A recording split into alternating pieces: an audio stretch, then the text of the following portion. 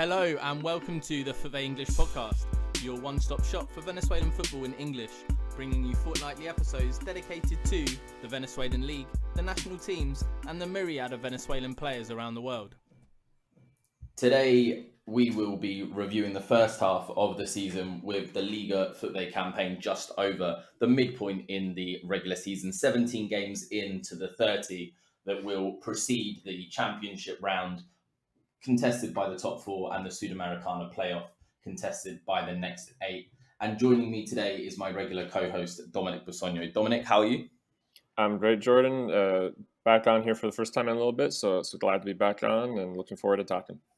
And this will also mark the point where our podcast returns to its usual fortnightly uh, release um, every other Wednesday after we had uh, a few episodes through the throughout the Toulon tournament and that's probably a good point to start. Although we're going to talk about League of Football and how the season uh, has gone so far, we should discuss the Toulon tournament. It, it's over, and I think it's fair to say that we, as a nation, as Venezuela, well, I say we, Venezuela as a nation, definitely outperformed people's expectations from outside the country. But were you surprised, Dom? You know, I think I um, hoped that that sort of run would happen, but I, I don't think that I thought that sort of run would happen. I, I, certainly had faith in that group to perform well uh, and to and to do themselves some justice. Uh, I did not necessarily foresee, you know, battling it out with France in the final and, and losing out really only by, uh, you know, a goal and obviously a red card and some some questionable calls that that played into all that. But um, yeah, I, I, was I was very proud to, to see how well they performed. Uh, not just you know obviously some players that we knew would be performing well that are already in Europe, but the amount of guys that came straight out of uh, Liga FUTVE seasons to perform better than pretty much everyone else playing in the tournament um, was really phenomenal. I think it's a it's a huge um, reminder to the world to pay attention to the talent in this league and uh, you know very very few ways to do that better than to basically show up, you know, all these very successful countries, you know, in front of a crowd full of scouts. Yeah, and that was the the big thing about this generation, getting that opportunity to be seen firsthand in Europe by by clubs, by scouts, by by European football fans as well. Obviously, it was an accessible time for, for Europe, whereas arguably Liga FUTVE and Sudamericana and Libertadores games aren't, unless you're you know a, a diehard or a South American football fan uh, in Europe. So that was it was great to see, and also Telasco Segovia, one of the Venezuelans that still plays in Liga FUTVE, uh, winning the Player of the Tournament award, and Andres Ferro getting the the Independent Player of the Tournament award as well from from one of the the sponsors. Uh, so that, that was it was great to see him like you touched upon disappointing the manner of which Venezuela lost out in the final.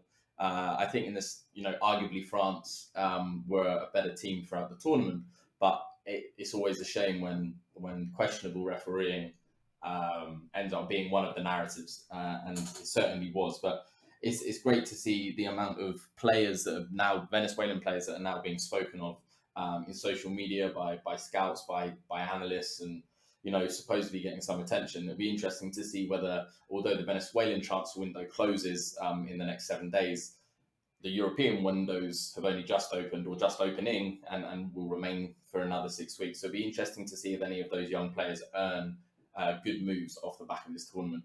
But let's get into the main topic of today's podcast, which is looking at Liga FUTVE so far. As I said, we are at the midpoint, and it's fair to say there are some notable surprises. I'm going to give my three surprises, uh, be they negative or, or positive.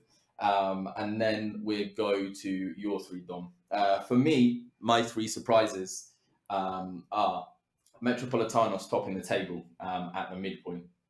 As I said in our season preview, I wondered where the goals were going to come from and whether they were going to be able to continue their sort of year on year improvement under Jose Maria Morr. And well, they are, they're top of the table. Um, but we will get into whether that can continue later. My second surprise uh, is the performance of Caracas Football Club. Um, as we are recording this, uh, Caracas are not even in the top half of the table. They are 10th. Um, they are just five points uh, from the bottom and 11 points from the top. Uh, so a top four finish, which would guarantee Copa Libertadores football next season, is only six points away, but it feels much further uh, based on recent performances.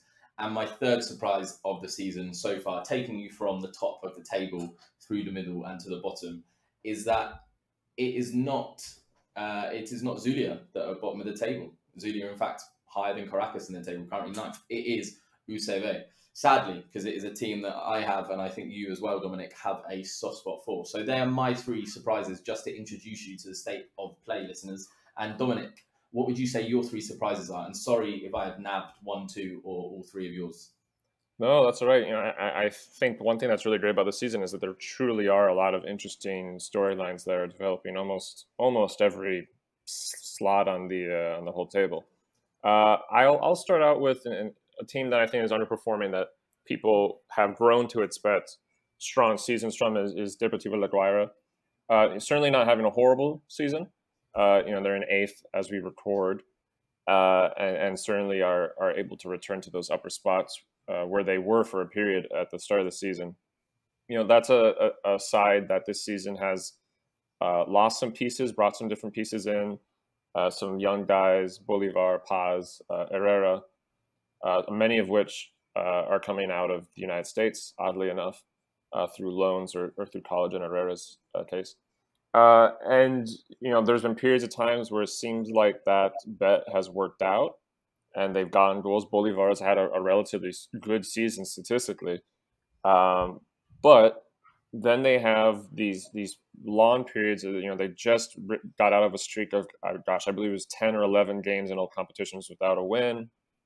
Uh, that that did include some Sudamericana matches which they did quite poorly in, um, and so you know I think it's a complicated side to read. Obviously, this is a side that just a few years ago won the league, uh, and since then has consistently been, uh, you know, more or less sort of that top four, top six playoff, whatever kind of team, whatever uh, verbiage you want to use. Uh, and uh, it doesn't quite seem like they're getting there this year as as other teams show up. Uh, the the next team I'll jump to is Estudiantes de Merida, who are, are now under the the reign of Leo uh, Gonzalez, who I believe had not taken over really the last time we did a podcast mentioning them. Um, he's uh, you know this when he came in there was a there was a bump in form and then kind of a drop and now we're seeing kind of a bump again and Estudiantes are are sixth place as we talk. Uh, I recall the first time we talked about them for this season on a podcast. Uh, they were you know informally in a relegation battle. They they weren't expected to ever really have to deal with relegation, but they were in that area and uh, they've they've really flipped the script. And you know they're they're only two points out of the the fourth place spot that would put them into that Libertadores battle and that title battle. So really impressive shift from them. Uh, and then uh, my third one will be uh, Academia Puerto Cabello, which is very in tandem actually with Zulia, as, as you mentioned. Those two clubs' storylines for this season are, are, kind of one giant one, being that uh, Puerto Cabello fired uh, Francisco Perlo as as their manager after you know what, what whatever it was a month or two uh, in charge, which had them mid table uh, or thereabouts. Uh, and then obviously he's joined Zulia and they've done very well, while Puerto Cabello are, are now 14th, uh, three points away from the relegation spot. Uh, that, that's not a team that necessarily people expect to, to do especially well, but it is very interesting to see a team start relatively well. They got some points off some big teams. They were getting results at home. Uh, see them make a questionable decision in terms of the of the head coach or the manager, and then see him go to another team and clearly show his quality while while theirs seems to sink away a little bit. Uh, they've they've brought in the the reigning champion manager and uh, uh, uh, Tuliano, but uh, or Tolisano, excuse me. Uh, but um, it, it, you know it's it's still unclear whether or not that's going to work out and whether or not that's exactly what they needed. They they've gotten some positive results recently, but again, three points away from relegation. And briefly, I think in the last uh, match week, they were in the relegation spot uh, with a game in hand after UCV had had won uh, against Caracas. So that's a team that it's not necessarily that the expectations were any specific spot on the table, but the way their season has gone about has been very strange. Uh, and it's very interesting to see how how the rest of their year goes. Yeah, when you were when you were talking, I was picking up the the stats on Deportivo La Guaira's winless run because um, yeah, it was it was notable, um, not just for, for its length, but it actually made history. It was the, the longest winless streak in the history of Deportivo La Guaira, including their their predecessor Real Sport before the takeover and the name change. Ten games without victory in the league, sixteen including the Copa Sudamericana, uh, dating back into March. Um, so it really was uh, a really a, a, really long winless streak. And on the flip side, as we are halfway through the season, um, the longest unbeaten streak of the season so far, um, which was broken, uh, was Carabobo with uh, 11 games. They are surprisingly we haven't neither of us have mentioned yet, and they're definitely worth five minutes of our time um, later in the podcast. And then another unfortunate bit of history um, has been made this season, and touching upon one of my surprises, Caracas. Uh, they're currently on their worst run in a Liga FUTVE regular season since 2016. Um, that was when they lost to Carabobo, drew to Portuguesa and Dans, Deportivo Anzoátegui no longer exist, um, and lost to JBL, Zulia and Estudiantes de Caracas, another team currently not operating. The head coach at the time was replaced at the end of the season. This is a nice segue, or well, maybe nice isn't the right word, but this is certainly a segue to discuss the situation at Caracas. Francesco Stifano is the head coach of Caracas, new this season, replacing a legend of Venezuelan football um, and football at Caracas Football Club, Noel Chita Sanvicente. Do you see Stifano staying? Um, and do you, uh, as a as an outsider, as a football fan, blame Stifano for uh, what is a horrible run and a horrible season? And to put it into um, context, they were last season's runners up. Uh, they reached the final four the season before, and the season before that, 2019, they were champions as it stands, they're 10th in a 16 team league uh, with only four wins uh, from 17 games. Yeah, you know, this is a complicated one. I, I, think, on the one hand, a, a huge factor in all this that is sort of in the background is the fact that Sanvicente, of course, ended up going to Zamora, who are having a great season, right? And yeah. so I don't think that helps Stifano's optics that the guy he's replaced is somewhere else in the league now uh, in third place currently, a couple points off the top. Uh, and I, I, think that does provide some context of the, as you said, the shoes he stepped into are very difficult ones to fill, uh, which I suppose means that he deserves uh, uh some credit or some space in that conversation. Uh, at the same time, the the performances simply haven't been good enough. I mean, dropping uh, what two games this season against the against UCV, who are bottom of the table, is not acceptable. Although, for what it's worth, Sanvicente basically did the same thing last season with Lala. Uh, but um, you know, it, it's it's uh, it's not good enough. You see other teams who are struggling, quote unquote, struggling based on last year's optics. You know, even Táchira are not having necessarily the season they would have liked to have, but they're still fourth. You know, they're still still finding points, and they're still not far from uh, potentially following up with a second title. Uh, and I wouldn't I, I, think the problem in terms of whether or not he would get replaced, uh, one, obviously we have a lot of season left, but at the end of the season is, you know, who do they find that is enough of an upgrade to be worth the process? Um, obviously, because of the league that we're talking about, there's only so many necessarily people that you're going to be drawing in. So, uh, you know, I, I think that might stop them from pursuing a, a replacement, but he's clearly not managing quality pieces the way his predecessor did. You know, there's a lot of turnover in this squad. There are there are changes, but there's also a lot of turnover. It's still a lot of the same guy or same guys rather. You still got Akinola. You still got all the youth prospects. You got a similar back line. Um, I don't think enough people have left for that to become an excuse. So, uh, I, I don't think it'd be a bad idea to replace him in the offseason. I just I'm not sure it will happen because I think it might just be logistically difficult for them to to do in a way that will actually benefit them. Yeah, we, we see a lot of we see a lot of flux and a lot of change in Venezuelan football at the end of, of every season. Um, managerial changes, player changes. It's quite a fluid league. Uh, like it's internal, it's internal environment um, certainly more than you know I grew up watching the, the Premier League and then paying secondary attention to, to La Liga. But it certainly feels that there is a lot more internal movement year on year.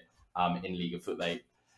But when you look at available managers for a possible mid-season replacement, Martin Carrillo is the only name um, to me really um, that stands out. Uh, but he's still a young coach, and a lot of people, I don't, I don't see it like this just because I don't have that level of, of experience, perhaps, um, or far back knowledge of, of Liga FUTVE.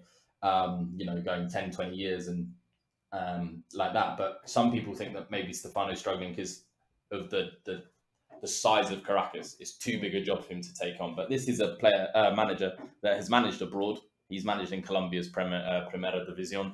He's taken Zulia to a Copa Sudamericana quarter final. Um, you know, it's not his first job. It's not his first job at a big club in Venezuela either. Um, whether you call Zulia a big club or not, uh, he's undeniably managed a big club in Deportivo Táchira, Caracas' rivals. Um, so it's a difficult one, but the two teams that I said that we'd revisit is where I think we'd go next Metropolitanos and Carabobo. Before we do so, and we'll start with Metro, I'll just run down the league title in full. Um, at the top, Metropolitanos with 31 points, closely followed in the top four by Monagas on 30, Zamora on 29, and Deportivo Táchira on 26. From 5th to 12th, which at the end of the season, regular season, will be the teams that will compete for Sudamericana in a two group formats playoff.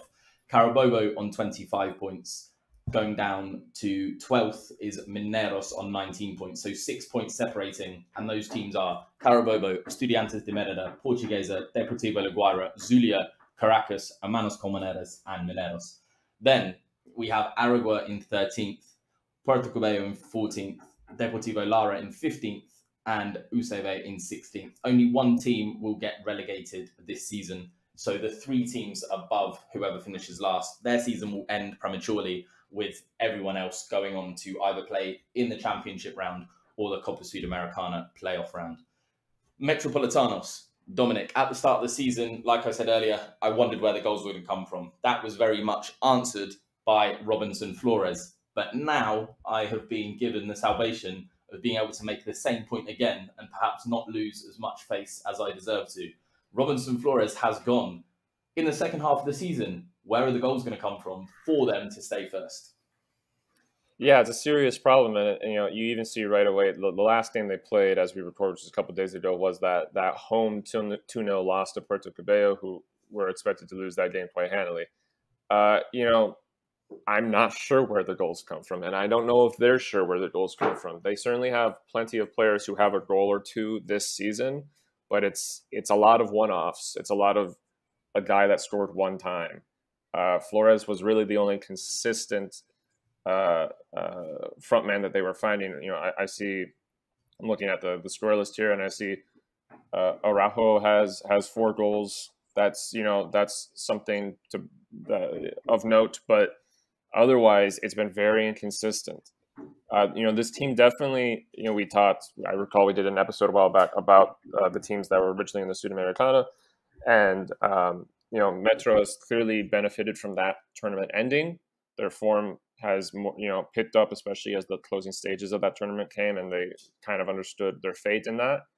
Um, they picked up a lot of points, but if you're going to be moving key pieces halfway through the season, that's going to be very hard to manage. And they have, I mean, a laundry list of teams that are waiting for them to to draw or lose another game so they can hop them. Uh, I, I, I, I was very interested to see what they could do with this top spot that they had earned, but already I'm very uh, uh, pessimistic about their ability to hold on to it. Like you've, like your question points out, because of the way this transfer window's gone for them, I'm not even sure where they're getting goals, and I their the defense isn't good enough just to clean sheet every game, uh, and so I do think they might be in a little bit of trouble. And then after Metropolitanos, we have in the in the top four, Monagas, who have led uh, for much of the, the first half of the season, now just a point behind after they did win their last game, but previous to that, losing three on the bounce. That re- and in that time, Metropolitanos winning three on the bounce really turned the tables. And then Zamora, who um, are on 29 points with eight draws, only two defeats. There's no team in the league that have lost fewer, them and Carabobo, the fewest on two and Deportivo Táchira on on 26. And you touched upon their season not being up to scratch considering they're the reigning champions. And perhaps Copa Libertadores had an effect on that because they they were fighting for qualification to the next round until the very end. And Now they've dropped into the Copa Sudamericana. Um, so they still have two big fixtures left in continental football. But just outside that top four is the team that we wanted to speak to uh, speak about next, Carabobo. Their situation has been impressive, but if you look at the win draw loss column, they've drawn 10 of their games. Uh, no team has drawn as many.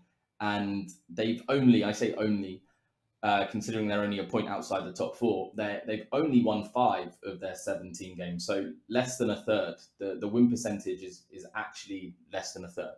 Um, I personally don't use win percentages as a, a good indicator. Like I know, um, I wouldn't say analysts do, but certainly um, TV companies, broadcasters like to put up a manager's win ratio. I would, I think a uh, an unbeaten ratio is is better. Um, you know, using a ratio of games undefeated, the wins plus the draws. Uh, and that's certainly where Carabobo have been strong. Like I said, only two defeats, um, the, the fewest in the league. But they have, with the wins, the same amount of wins as Mineros, who are 12th and were in the bottom three for much of the first half of the season. It is the fact that they've been hard to beat, which has got them to where they are. Um, before their second loss of the season, um, which was only uh, a couple of games ago, they'd only been behind for all of three minutes all season. That that first loss came in second half at the beginning of second half stoppage time and was an own goal uh, and a bit of a mistake from from Claudio Fraga. It is it's the organisation of new head coach Kike Garcia, which I don't think surprises you um, or me. But again, they have had a lot of their goals come from one player, Kevin Viveros, like Metro with Robinson Flores. The only difference is it looks certain or almost certain that Viveros will remain at Carabobo until the end of the season, and his goals are going to prove vital. Do you think Carabobo have what it takes to sneak into the top four? I think it's very possible. I think, you know, as you're pointing out, Carabobo are, uh, and, and, this shouldn't be surprising given, you know, we did a whole podcast about how this team was kind of using this like Moneyball style of, build. This is very much like a system team. This is a team that thrives off of having a way they play, uh, more so than having a large list of all stars of the league. That being said, they have a very good roster, but uh, you know, you see they have two losses this season, both very close ones. Obviously, you mentioned the the Monagas uh, loss, which was created by an own goal in, in extra time and then their most recent loss, which against uh, Deportivo Lara, was was a one 0 late goal from Lara uh, uh, at uh, at Carabobo at Valencia. Um, so you know they've they're incredibly hard to beat. Those games were probably going to be draws, not necessarily wins for them if the bad luck hadn't occurred. And so you still have actually even more so of that problem that you could have 12 draws. Um, I think that it is entirely possible for them to jump into maybe a fourth place or a third place. I, I don't think we'll see them manage to to climb all the way up to the top two um, because they're simply not picking up points the way some of these other teams are. But they certainly have enough quality that if they did sneak into that that top four tournament that comes after the regular season, I wouldn't be surprised. Uh, I do think they need help from uh, teams like Táchira or maybe Zamora to have them drop in form for periods of time if they want that. Otherwise, if they were to be in that uh, uh, Sudamericana qualification tournament from uh, 5th to 12th, I think they are easily a favorite team to do well in that. Uh, because again, they have a lot of quality, a lot of quality in leadership, a lot of quality in system. But yeah, they need to find wins. They need, you know, it's funny to say they need to find goals. They have one of the best goal scorers in the league right now, but they need to find goals from other players or just get an immense more goals out of uh, Viveros. Uh, they have to do one or the other because right now they're simply not picking up enough points to to have particular hopes of of of a title this season, which I'm sure they would like to get.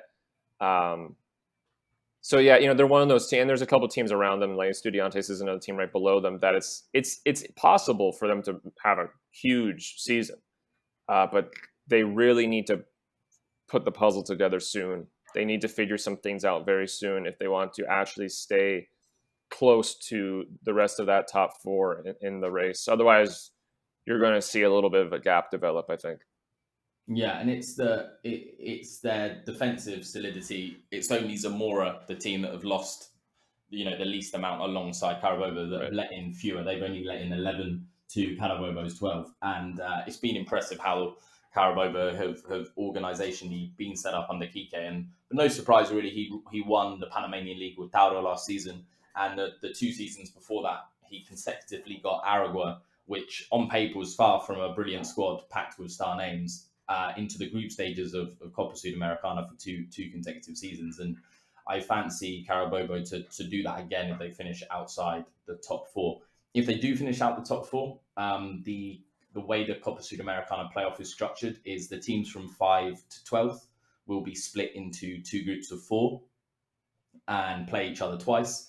And the top two teams from uh, each group will then play the Copa Sudamericana playoffs at the beginning of next season, uh, with two of those four teams guaranteed a place in the group stages. At the bottom of the table, or towards the bottom of the table, um, there's there's certainly something to discuss in UCV's, uh, you know, picking up the bottom. But firstly, a team that's managed to escape um, what looked like a certain relegation fight, Zulia, who are nowhere near there now, they're ninth um, and, and look fine. They're one of only two teams in the league at present that can boast uh, being unbeaten for at least five games. And Fran Perlo was probably an unexpected gift at the start of the season. He started the season newly appointed at Academia Cabello, but their decision, their loss, is certainly Zulia's gain. What's impressed you the most about the turnaround that's been happening in Maracaibo, Dominic? Yeah, it's an interesting one. You know, I, I think one aspect of Zulia's roster that worked out very well for Perlo's arrival, which of course was not planned, was the fact that Zulia signed quite a few Panamanian players right before the start of the season. And uh, I, you know, I think some some of who he had coached and some of who he hadn't, but he'd obviously played against uh, and seen play in various contexts. Uh, and you know, I think that played out very well for them. Uh, you look at uh, uh, you look at Guido Rouse and who has eight goals for them from Panama, uh, and whose form, by the way, dramatically improved when Perlo came in. I think he had one or two goals before Perlo came in, and since then he scored six or seven of his eight, uh, including a hat trick in their first uh, win, uh, which was against Mineros. Uh, so you know he he's found what he needs in those Panamanian signings from the offseason, which, you know, obviously you need to get something out of when you're bringing in players. Uh, but he's also clearly done, had a positive impact on the youth talent that this roster is very much built around. Uh, the Parade, uh, Paredeses, the, uh, the uh, Ramirez's, Simon Ramirez. Uh, he's gotten goals out of them. He's gotten uh, leadership performances out of them. He's gotten considerable amount of minutes out of them and he's just you know I don't think Zulia are in a situation where they're going to climb much further up the table than they are currently, but he's clearly found a way to get this mixture of young and foreign talent to work together to uh, be more defensively stout. Um, it was noted to me uh, that, uh, and I did notice to a degree that Perlo shifted to you know a more consistent back four when he came in. They were kind of playing a, a three to slash five system before that. Yeah. Um, and that seems to have worked out better. Players seem to be able to manage the spaces they have to manage uh, in a more effective way. Uh, and obviously, the goals are coming in. So, you know, it, it's really a, a, remarkable. It's a remarkable endorsement of Francisco Perlo's ability, to be perfectly honest. Um, and, and again, it leaves question marks around the fact that he uh, he joined because he was fired a couple months into it, another job. But um, yeah, it's been it's been a phenomenal turnaround, and I, you know, I I uh, imagine it uh, it means quite a bit for the the fans that have to stand outside of a wall to watch their uh, their team play this season because of stadium availability as well. Yeah. Uh, I, I, I, imagine they appreciate the effort that's being shown, and that's the other thing is you know when on the occasion that I watch a Zulia game, depending on which of us is covering which game, uh, their their matches show an immense amount of effort, and obviously every professional athlete shows effort, but certain some teams are just designed to put a little more sweat into the game than others, and uh, they they very much fight for for every point they get. You know, you look at their late uh, comeback in that two-two draw against Puerto Cabello at Puerto Cabello, who they'd beaten four-one the week before. They got uh, a penalty and a free kick goal in the last like ten minutes. They were two 0 down, and they figured it out and they got the goals. Uh, teams destined for relegation don't find don't figure out those games. Teams destined to get out of relegation figure out those games.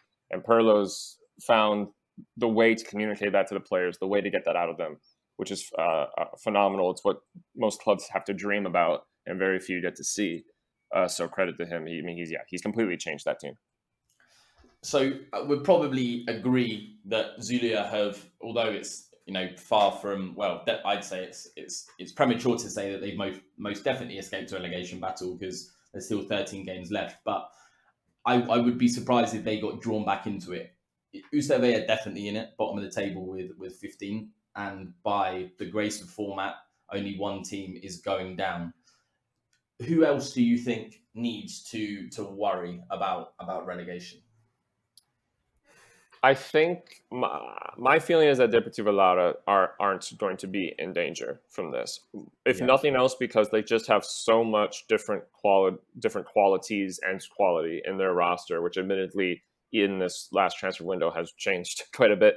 Uh, but but still, I mean, it, they have such a strong group, more or less top to bottom, that I, I just don't see uh, uh, them getting relegated. You see them pull out results like that 1 0 win against Carabobo on the road and, and that sort of thing. And if you get enough of those, you're just not going to get relegated when there's only one team going down.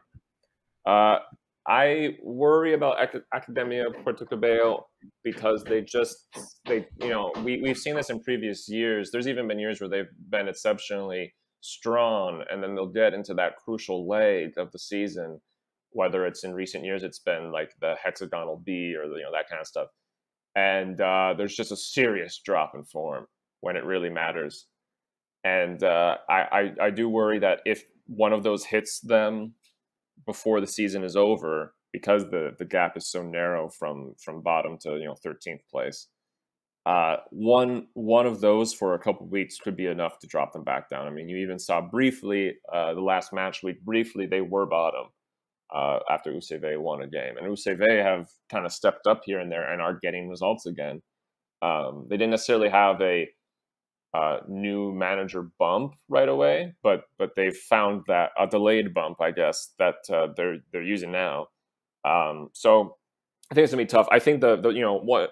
And, and this is sort of more from my like sentimental guy that writes about soccer side of things. But um, one thing that you know UCV doesn't have that might bite them in the back that these other teams have is that you know UCV do not have what you know a, a consistent fan base uh, the way that these other teams do, and you do wonder if that might you know some of these other teams. I don't know if Aragua's roster is better than UCV's, but I do know that there's going to be people at that stadium every game screaming for them to survive, uh, and you know that that in every league yeah, I'm sure. I mean, we can probably both think of examples even from the Premier League or the Championship. Teams teams that have the right kind of support that can push them over the line. I do think that's something that UCV not having will be a problem for them. Um, you know, you particularly Lara and, and Puerto Cabello have very uh, avid fan bases this year, very loud fan bases this year. So, um, yeah, I, and, they're playing, I, and they're playing in much much smaller stadiums. That too, uh, yes. You know, UCV ha- also have the additional problem, uh, if you like, of playing at El Olimpico, which is like 25,000 capacity right. stadium, and UCV games are barely scraping 500. Right, right. And so I, I just wonder if that might be a problem for them. That's going to push all those other squads to just get a couple extra draws, an extra win out of effort, um, particularly at home, that UCV won't be getting. So, uh, you know, in my opinion, right now, UCV are the team that go down uh, that just feels like that's what's going to happen. Uh, if I had to pick one of the other three, I think I would put it on Puerto Cabello only because that just in general, year after year, that roster is just very in flux, very inconsistent, very volatile, and it's it's difficult. And I, you know, last season there was some drama at the end of the year in terms of people leaving early and stuff. Uh, so if any of that comes back this season, I could very easily push them over the edge. Uh, so they, they would be the team that I'd be most concerned about. So we've touched upon the top four. We've touched upon relegation candidates, and we've spoken of the teams drifting uh, in the middle. Do you think there is anything from this first the half, first half of the season that um, may may tip off you towards a surprise for the second half of the season? Maybe there's something in this transfer market that's caught your eye, or a turn of form of one of the clubs, but if you were to try and make a, a bold claim about the second half of the season, what would yours be? I will help you out by sort of illustrating with my own. I, for example, think Hermanos Colmenares could potentially end up caught in a relegation fight. I don't think they're going to go down, but I think that will be because there's only one relegation spot. I think if this was like most seasons where where three teams go down, they could be in real trouble. I'm, I'm worried about their drop off. They haven't won in at least five games, uh, and they, they don't seem to have addressed that, in my opinion, um, in the transfer market. Players have come in, but I wouldn't say it's players that are going to turn their season around. That's a very good point, and and I definitely see what you're saying. You know, there's been a drop in form, uh, and they're not that many points off. So yeah, absolutely. Uh, I guess I'll do one that kind of is more at the top uh, just to change things up. I, I, you know, I kind of talked about this with the we talked about Carabobo, but I think just out of inconsistencies uh, with players in the roster, having guys sometimes not available because of international duty, uh, uh, uh, you know, certainly a player or two that's being looked at to be bought.